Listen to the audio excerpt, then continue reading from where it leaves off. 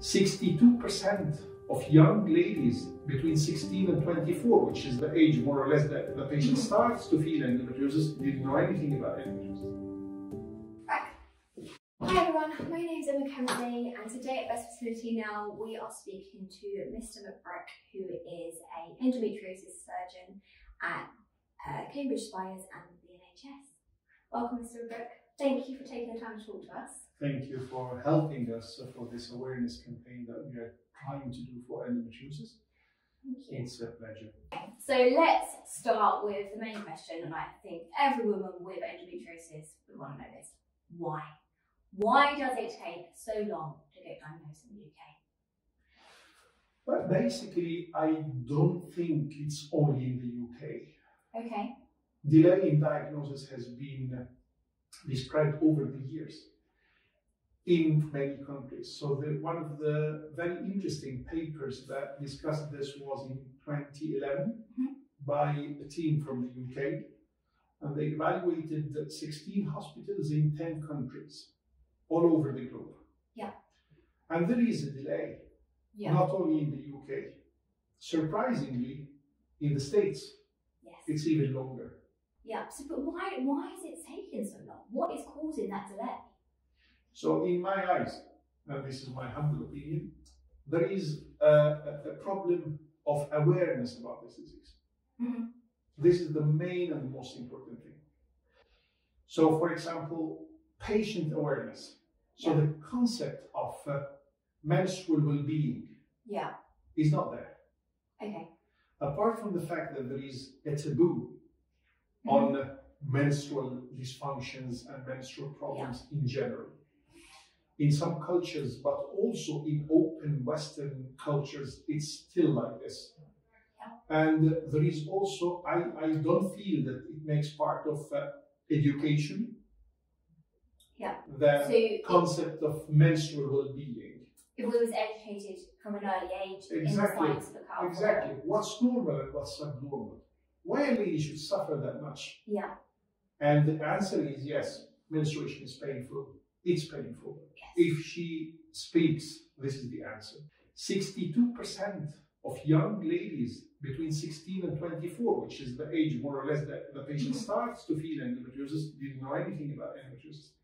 So at the end, if this is not even the patient, she, this could be the partner, Yeah. this could be the employer, Yeah. this could be, this could be. So public awareness, I think it's important because, yeah, I don't, I really, in these 16, 17 years, I have really seen a big, big, big number of patients with endometriosis. Yes.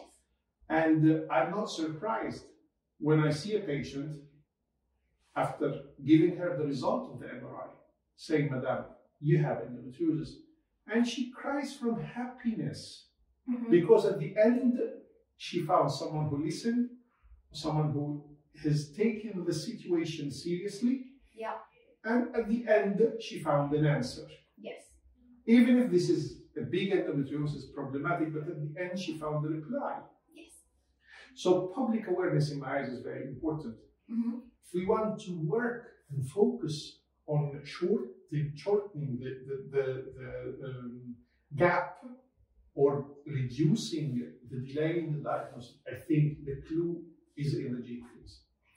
Endometriosis has to be taken more seriously. This is how I believe In terms of the general public or the medical profession? in terms of uh, prioritizing this as a disease, socially, politically, financially, and Medically, everything. yeah. okay. Medically, yeah. If I diagnosis and then you tend to go away with, okay, you've got this stage, this stage, let's remove this, remove that.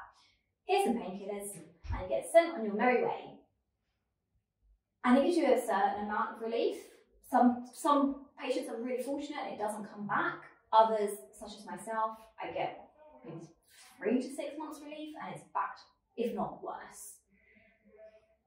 And were the patients that feel really disheartened, we can't just keep having surgeries and it can really affect your life. It's difficult to take control of, you lose so much work, you can't socialise properly.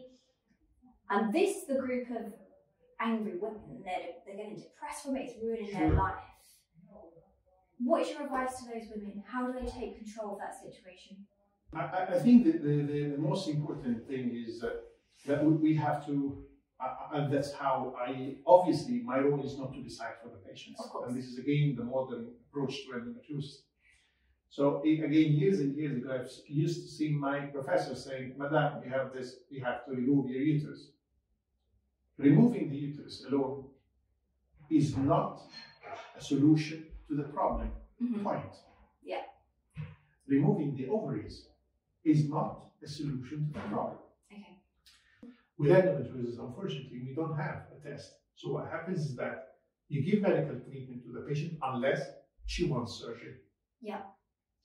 And yes, we know that most of the patients at the end we operate. That's fine. But there is a percentage of patients who respond to medical treatment. Yeah. And we can, I wouldn't say avoid surgery, but at least delay surgery that we don't have this test. So the only solution is trial and error, unfortunately. Yeah. You're the boss here. Mm-hmm. Directly to the patient at the beginning. This is the deal. You're the boss here. Okay. My role, my responsibility is to explain things. And you're the one who decides. Yeah. I'm not giving you the whole responsibility, but I'm just telling you that my role is to give you information mm-hmm. and help you make an informed choice. If, if you think you're going to a surgery, do your research, ask your consultant for links and what might work for you, what yes. might not. You've got that every right to do so. Yes, definitely. And really understand what you're letting yourself Absolutely. in for.